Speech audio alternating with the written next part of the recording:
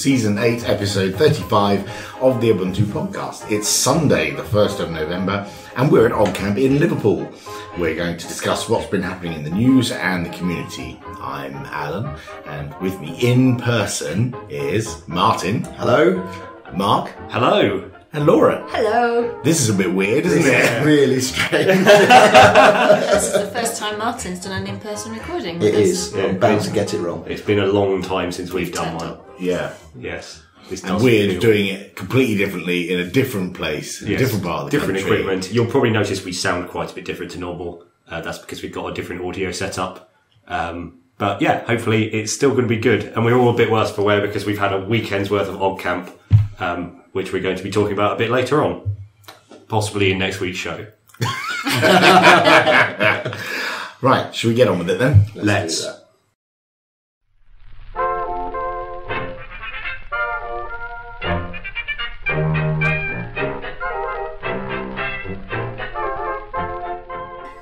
And now it's time for some news.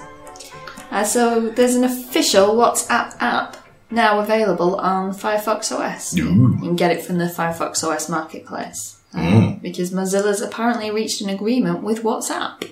Ooh, what kind of agreement?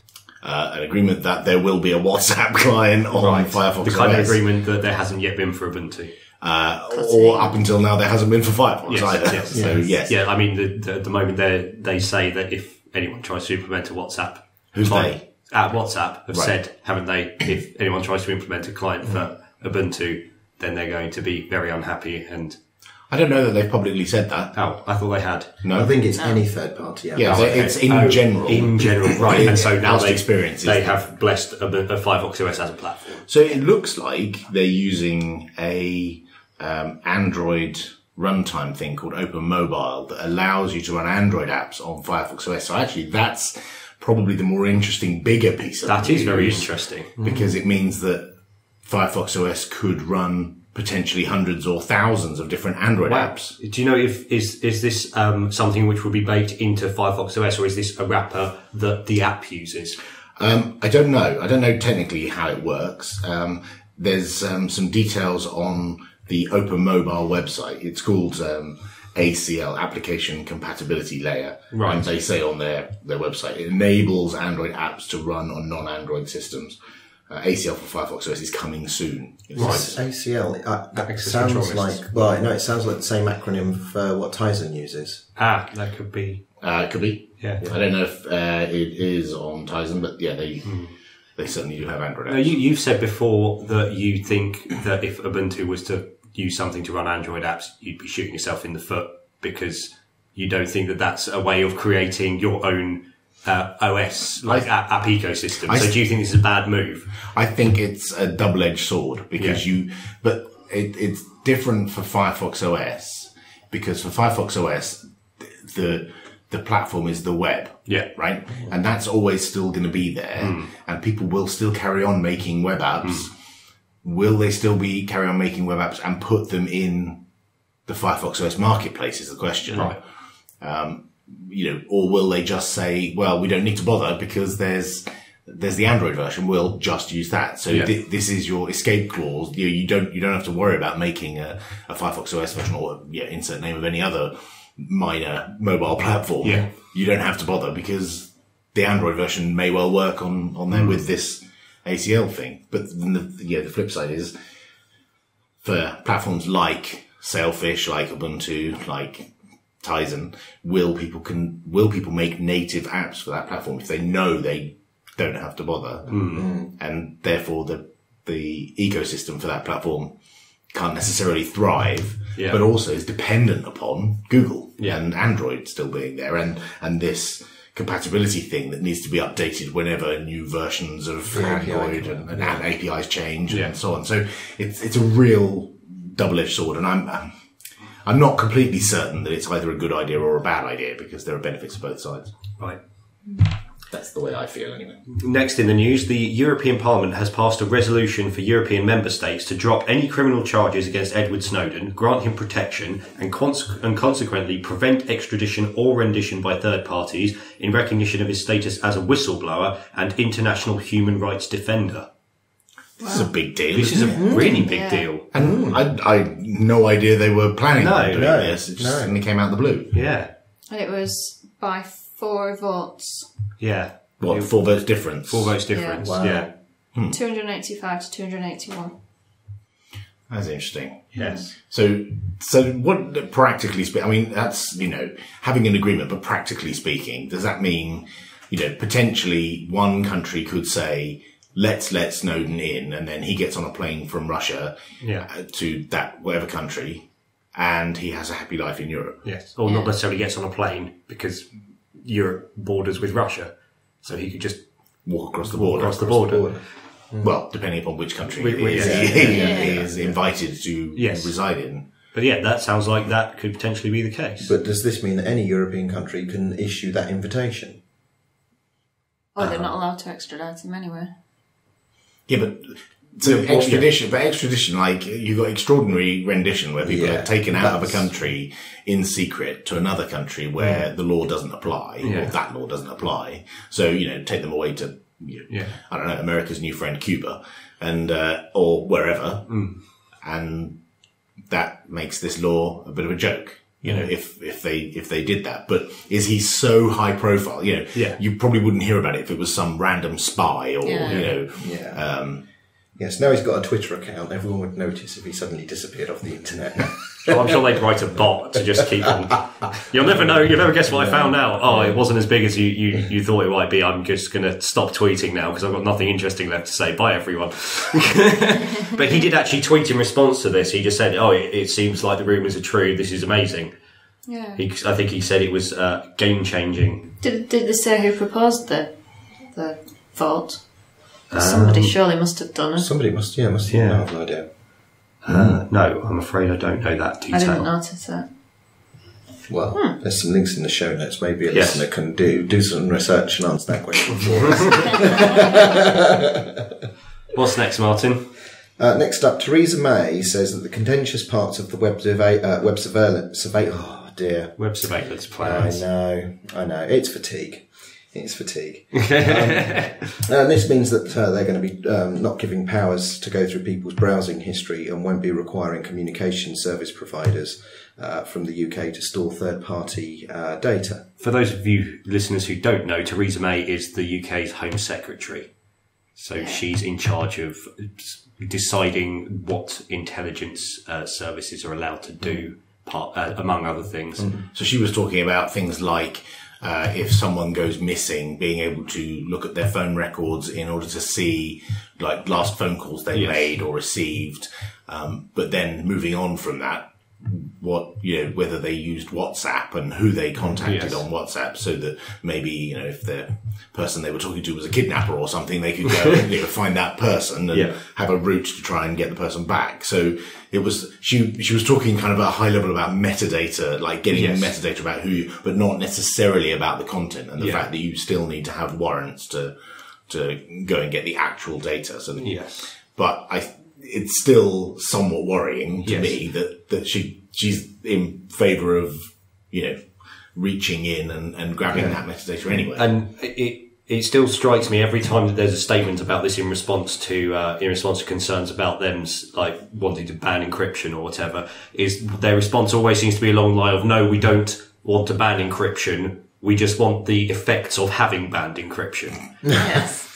Right. So they just want to sit in the middle while, of your encrypted traffic and see what it is. Yes. Without breaking encryption. Yes. But they want to be able to see what the data is that's encrypted. Right. Okay. Oh, uh, so they want to man in the middle the encryption. Is that the idea? well it Yeah. That- It- practically, it's- that it's- seems the only way It seems do it. from what they from what they've described, that seems to be what they want to do. But they they keep on saying, no, we we understand encryption is important. We don't want to break or ban encryption. We just need to be able to Break do this in extreme circumstances. okay. But yes, we'll see how it pans out. I mean, the the laws to to um, to put this in place haven't actually been finalised yet, so we don't really know what they're saying that they want to do. Moving on, uh, the EFF have posted about a victory for users Uh, the Librarian of Congress renews and expands protections on fair use. What's this about, Mark? Well, this is something I wasn't aware of. So the, the DMCA has uh, DMCA? the right, Digital, Digital Millennium Copyright Act, um, which, uh, among other things, says that um, if something has uh, digital rights management, even if you are legally allowed to use the content which is protected, you are not allowed to break the digital rights management on that content. So this could mean that, for example, if you've got a DRM protected uh, ebook and the text of that ebook is out of copyright, even though you are legally allowed to use that text, you wouldn't be allowed to break the DRM on that ebook in able to get in order to get access to that text. Now there are exceptions to these rules, um, but in order to get an exception to the rule, there's a, a three year process whereby you have to you have to basically put forward the exceptions you think there should be, and they can be argued and counter argued, um, and they will be granted or not. And then you have to do it again after three years. They expire, and you have to do it again. Wow. So this this process has just happened after a three year process, and the EFF have been lobbying for various things which should be legal to do. And among those this time, which is which are now legal to do, you are now allowed to break the DRM on car software so that you can analyze what's going on. This is obviously very relevant. But some of the other things um, that were argued for at the same time as this was extending the the right to break um, DRM on DVDs and Blu-rays, specifically to allow people to remix the video um, that's stored on them. Right. Because remixing the video, if it wasn't DRM encrypted, is okay under um, fair use.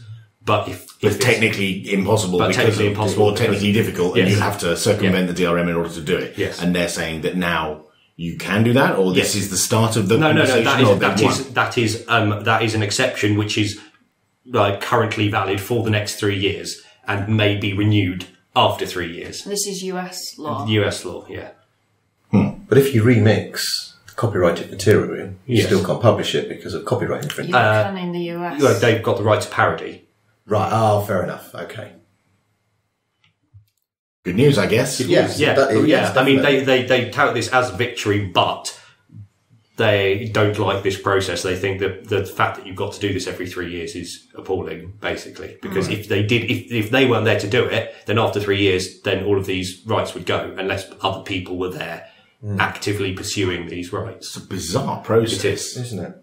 Hmm. Moving on. GNU Hurd uh, 0.7, GNU Mach 1.6, and GNU MIG 1.6 have been released. These more recursive acronyms. Oh don't Probably, what, what, what is GNU Hurd. it's it's a it's a kernel. No, it's a microkernel. Micro. Oh, It, right? okay. it's software Which, which which runs on a computing device. I'm just checking. I'm not, yeah, I'm I'm not happy gonna with get. it runs, but it, it's uh, free software, and it's like an alternative to Linux in the same way Linux is an alternative to Windows and OS Yeah. 10, Unix. kind of. Well, it's it's a specifically an alternative to Linux in that it's a kernel. It would replace what It's a the Linux- microkernel. Yeah. yeah. it would replace what the Linux kernel does in a Unix-like system. So you would still have the GNU userland stuff on top of Hurd, Right. but instead of having Linux underneath, you would have it would be GNU slash Hurd. Why?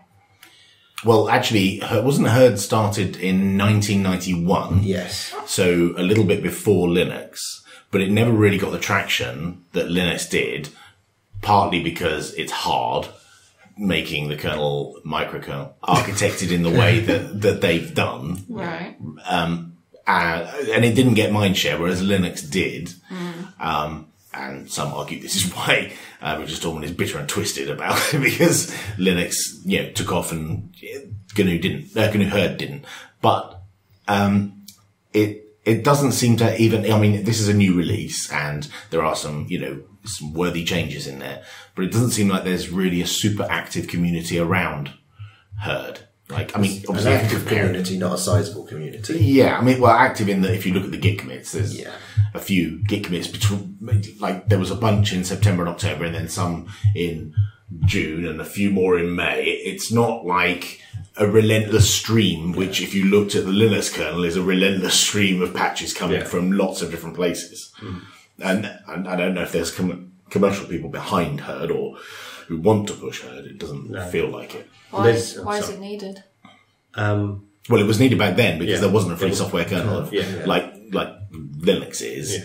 But you know, Linux came a couple of years later and then just took off, and Hurd has kind of been left in the dust. But some people still believe that technically Hurd could be excellent and a great alternative, and you know, secure and fast and all the things you want from a kernel. Some time ago, I was really interested in seeing Hurd succeed because I think it's got a better architecture, but too much water has passed 20 under the years. bridge now. Yeah, More than and- 20 years. Yeah, and you know, Linux and BSDs are established, mature.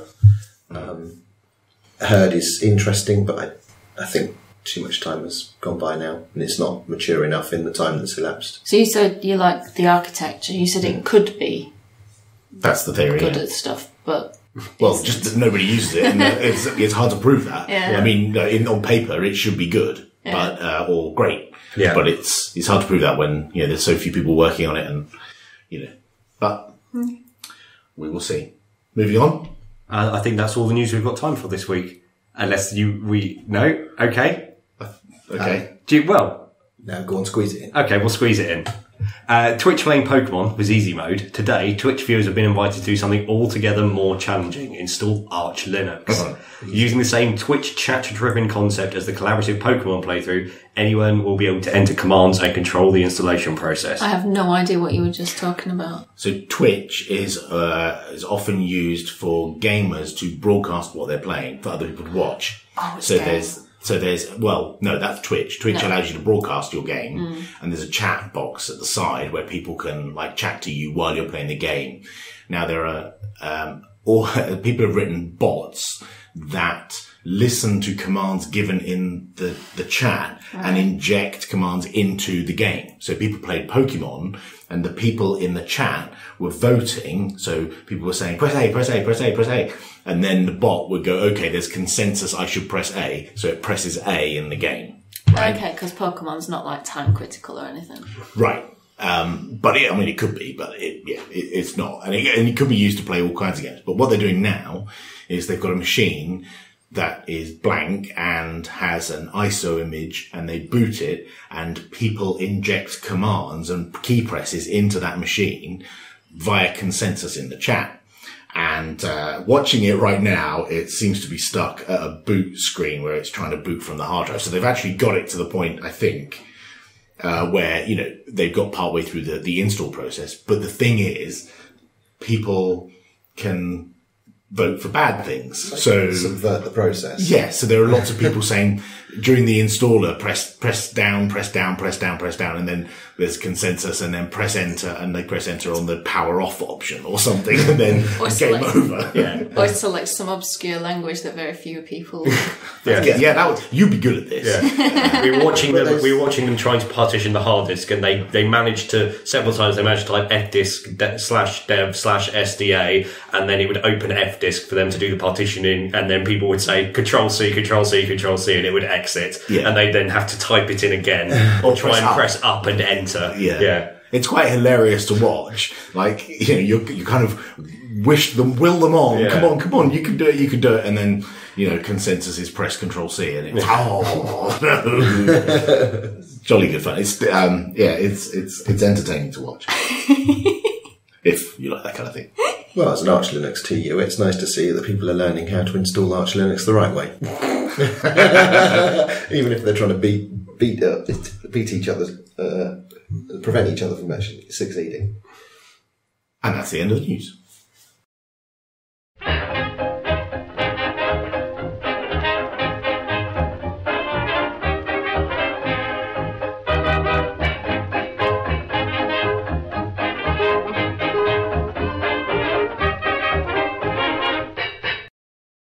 And now it's time for some community news and events.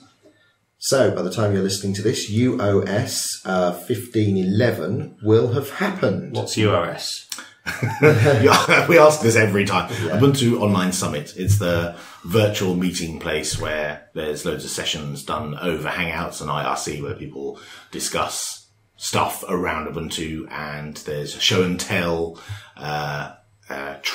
So it's not it's not just like boring like meetings about things, you know, planning. There's there's people turning up and demoing stuff and, And you'll go for a beer together. Oh no, you can't. can you? So, do you know what is going to will have happened this UOS? Uh, yeah, so the, the schedule, it's all on the website. If you go to summit.ubuntu.com, uh, you get redirected, uh, and it's on, it was on, will was be on over three days, Tuesday, Wednesday, Thursday. Um, Mark Shuttleworth usually does an opening keynote and sets the tone and maybe makes some bold statements that, um, that, you know, what we're going to do over the, over a while. Um, and then there's round tables, there's, uh, sessions about Snappy, sessions about developing apps. There's like tutorial sessions of how to develop your first app, um, planning sessions for some of the some of the apps that are on the phone and in the um, uh, on the desktop. Uh, some server stuff. There's some uh, convergence related things. So, but the the the nice thing is that they are all done over Hangouts. So they're recorded and they go onto YouTube and you can go back and watch them later. So although they run all day, Yeah. you don't have to And have to actually be in the right time participate zone. all the time. Yeah. You can pick the ones you like, and, and if uh, multiple tracks run at the same time, so if you miss one because you're what, in, participating in something else, Yeah. you can go back and watch it after the fact. Cool. Yeah, it's good fun. And uh, that's uh, it. I don't know where I was going with that. Um, also, uh, a blog post has just been posted by Sturmflut, who's one of the contributors to uh, Ubuntu Phone. Yes. And uh, he's one of the insiders, and he's posted a bit about the convergence stuff on the Nexus 4 and how to get it working and what you need to attach and some troubleshooting stuff. And yeah, Convergence as in the full Docker phone and it. yeah. So on he, he's um, he's taken loads of photos. It's quite good because it's got loads of photos, so you can actually see it in action, um, and it tells you how to how to set it all up. But it's basically, you know, in essence, a Nexus 4 plugged into a slim port adapter, plugged into a display with a keyboard and mouse. That's it. And, Cool. You know, it shows how it works, and he's he's got a few more posts planned um, about. Uh, uh, more in-depth topics relating to convergence on that device. If only I'd gone to OggCamp and seen somebody from Canonical demonstrating this in person. Well, this is exactly it, it's super super well timed because yeah, at OggCamp, yeah, we did demo it, and uh, it's nice that other people can see the same Yeah. kind of thing, Yeah. Uh, and play with it themselves. And also, I guess, can use these notes to go to their own meetups and local events and reproduce this. yes, that's a great idea, actually. Yeah, if you you know take it along to your Linux user group or Yeah. whatever, like free software, Hackspace, that kind of stuff. Yeah. take along a Nexus Four and a display and show it off. Yeah. yeah, yeah it's a great idea. And there's uh, one event uh, which uh, was blogged about by David Planella from the community team at Canonical. And it's uh, an UbuCon summit happening next year, 21st to the 22nd of January in California, Pasadena. And it's hosted at Scale, the Southern California Yeah, Linux Expo. Mm, Linux Expo. That's the. I can never remember that last bit.